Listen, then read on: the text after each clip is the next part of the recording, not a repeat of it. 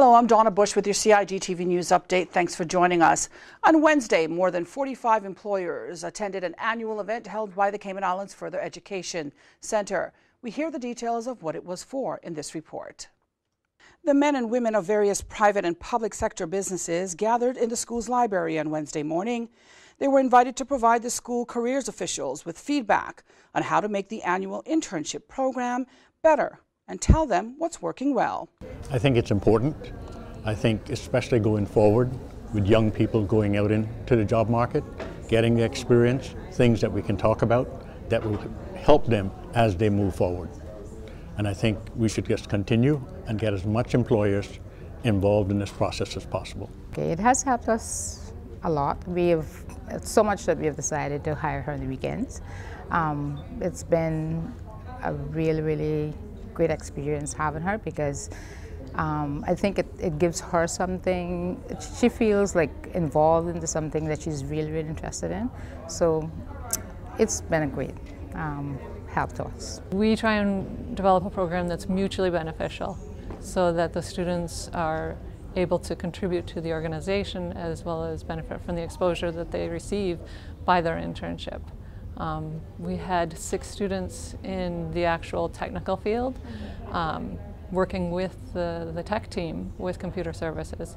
And they did all kinds of things from imaging computers to um, asset management to going to sites with, um, with the techs. Um, and then we had two students that helped us in the, in the administration team. And they did all kinds of things from filing to photocopying to prep for orientation to um, assisting with all kinds of different events that we do in administration as well.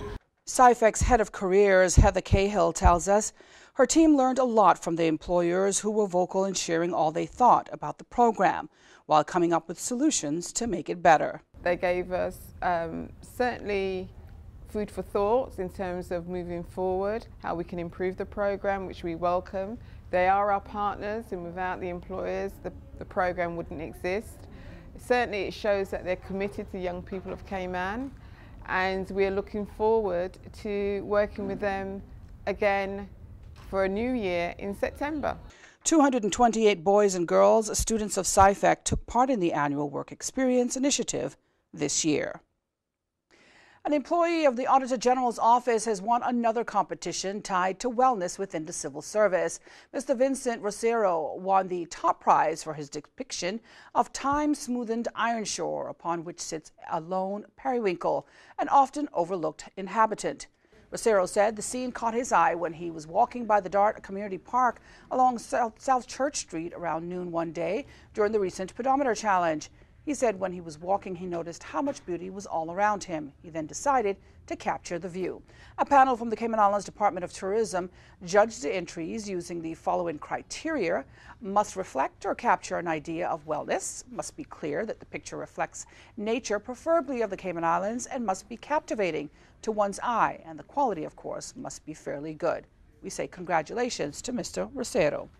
Well, if you missed our news update today, you can get all the details on our Facebook page as well as our YouTube channel. Please don't, don't forget to tune into Radio Cayman's talk shows. That's For the Record and Talk Today weekdays and week mornings. For now, I'm Donna Bush, as always, wishing you a wonderful and, of course, a safe night. Thank you for joining me as always.